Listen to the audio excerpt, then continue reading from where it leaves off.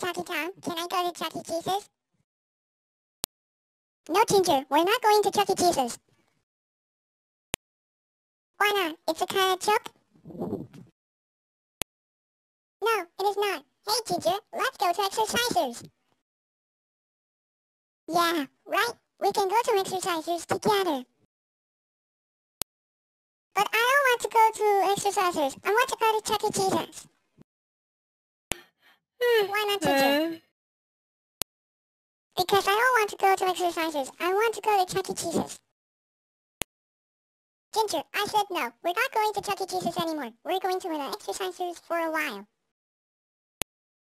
I want Chuck E. Cheese's right now, or else I don't care. Not to Tom like that. You better cut it out. Angela, I said no.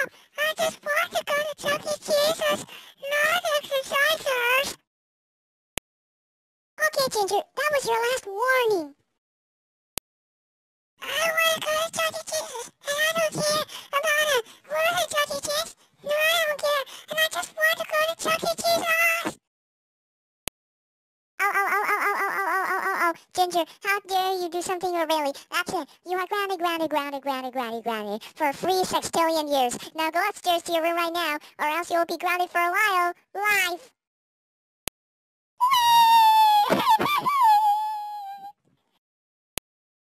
that little Brett is so grounded.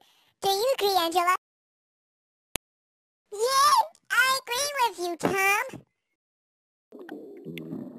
Uh-uh-uh.